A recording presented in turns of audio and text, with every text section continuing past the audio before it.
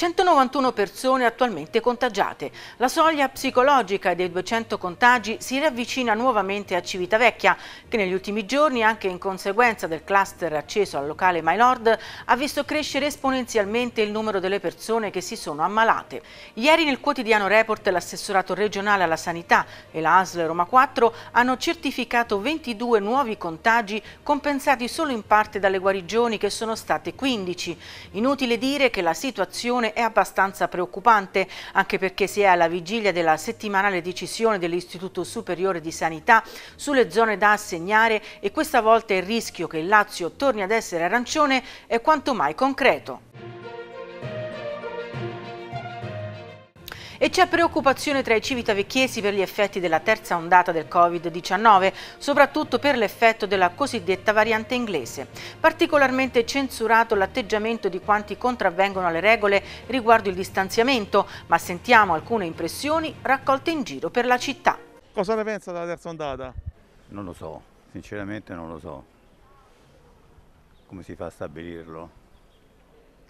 Vediamo i tecnici se ci indovinano stavolta, non lo so.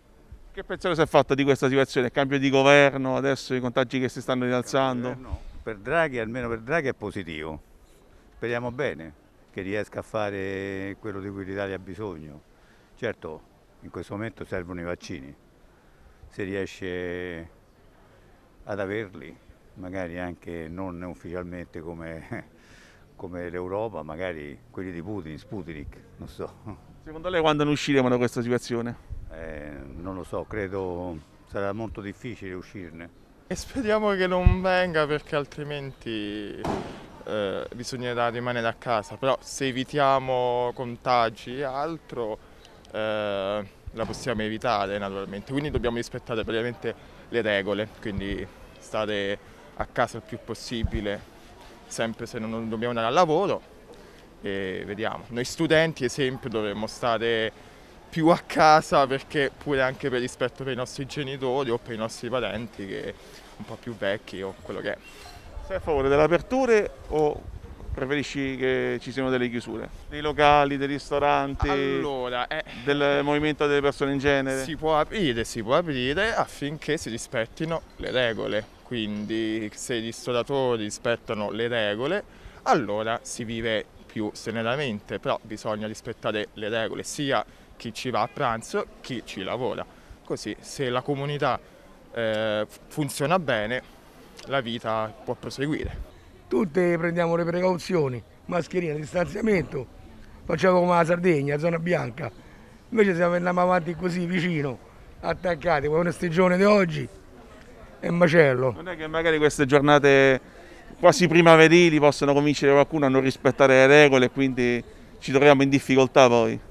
Eh, appunto per colpa di questi ragazzi che trovano queste belle giornate siamo molto in difficoltà. Allora dobbiamo prendere questi provvedimenti. Per me se facevano un mese tutte le città, zona rossa, stavamo ancora meglio. Comunque ad andare così. Speriamo che finisce presto, ci fanno i vaccini e tutto va bene. Anche se eh. poi le persone che lavorano sarebbero state molto d'accordo perché, ci sono ritardi nei ristori, nei sostegni per chi, per chi lavora. Infatti proprio per loro c'è stata molta difficoltà andare avanti. Praticamente tutti i pediatri di libera scelta che operano nei vari comuni della ASL Roma 4 sono stati vaccinati. Stando ai dati forniti dall'azienda sanitaria, infatti, ben il 99% dei medici che assistono i bambini si sono sottoposti alla vaccinazione. Diversi i numeri per quanto riguarda invece i medici di famiglia e il personale sanitario della stessa ASL Roma 4. A oltre due mesi dall'inizio della campagna vaccinale, la ASL Roma 4 tira le prime somme del lavoro condotto all'interno del territorio di competenza. Ieri gli uffici di Via Terme e di Traiano hanno infatti fornito i primi dati ufficiali della campagna suddivisi per le diverse categorie interessate.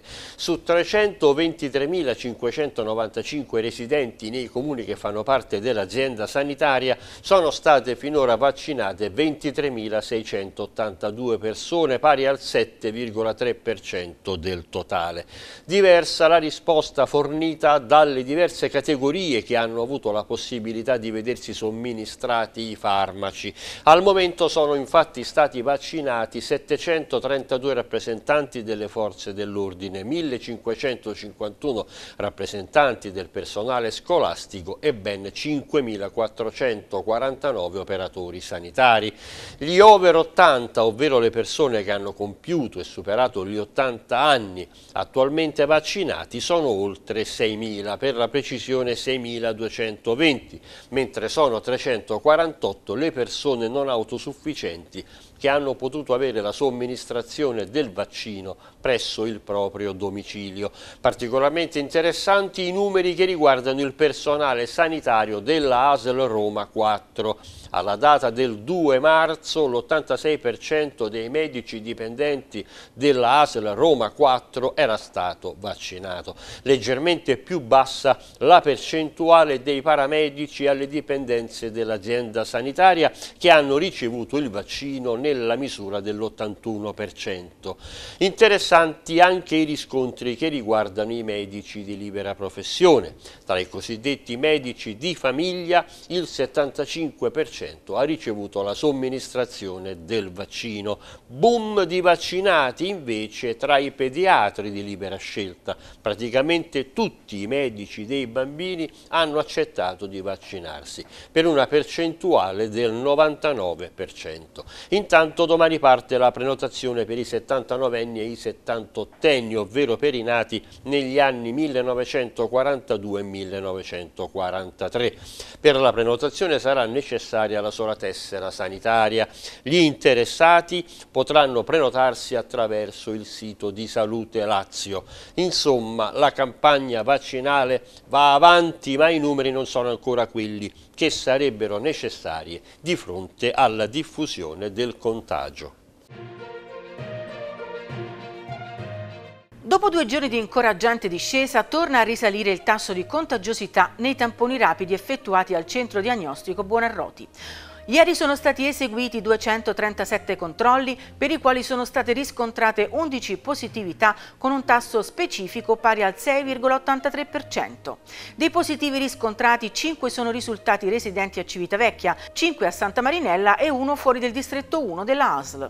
Il numero complessivo di test effettuati è salito a 18.507 e le positività riscontrate sono finora 977 pari al 5,28%.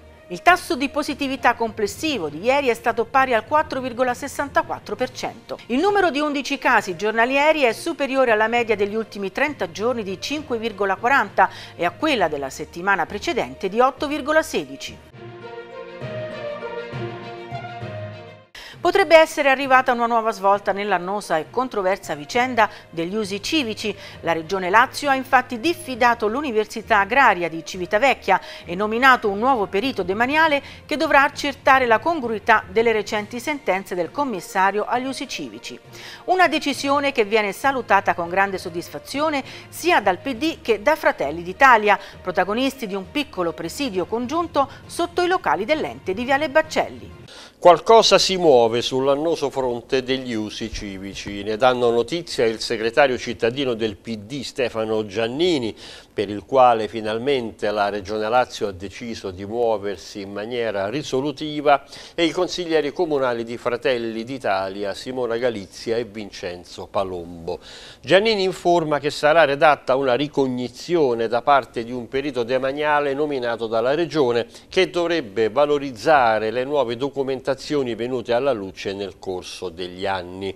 Secondo il segretario Dem, inoltre, le ultime sentenze che stanno progressivamente liberando diversi terreni dai vincoli confermano la giustezza della strada intrapresa e le scelte sbagliate dell'università agraria. Proprio ieri, conclude, è giunta la notizia di una diffida sempre da parte della Regione rivolta ai vertici dell'agraria, motivo per cui ho incontrato Simona Galizia e Vincenzo Palombo proprio fuori la sede dell'ente, ai quali va rivolto un ringraziamento per il contributo espresso nella ricerca della soluzione.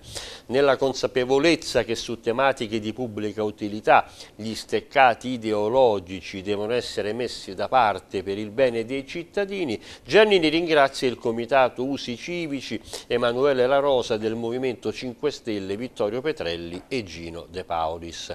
Per Fratelli d'Italia la diffida della Regione all'agraria rappresenta un ulteriore passo avanti nella vicenda degli usi civici dopo la svolta propiziata dai propri rappresentanti alcuni giorni fa.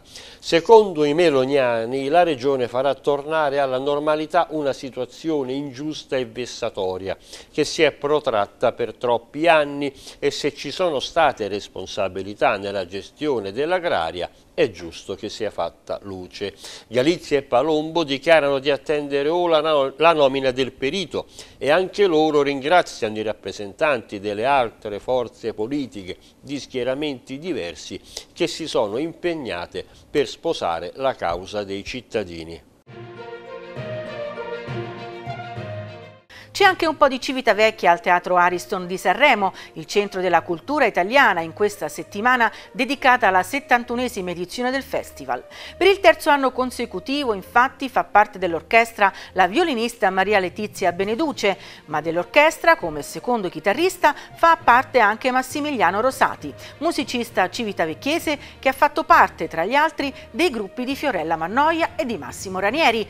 E stasera a quanto pare un terzo civitavecchiese dovrebbe dovrebbe essere sul palcoscenico dell'Ariston come accompagnatore di Max Gazzè. Ad un mese e mezzo dalla difesa del titolo mondiale dei pesi super piuma IBO arrivano date e luogo dell'atteso incontro di Michael Magnesi. Il match che vedrà contrapposto Lone Wolf al sudafricano Canil Bulana si svolgerà venerdì 16 aprile al Palazzetto Valle Martella di Zagarolo. L'evento sarà organizzato dalla MB Events di Alessandra Branco e dalla BBT di Davide Buccioni.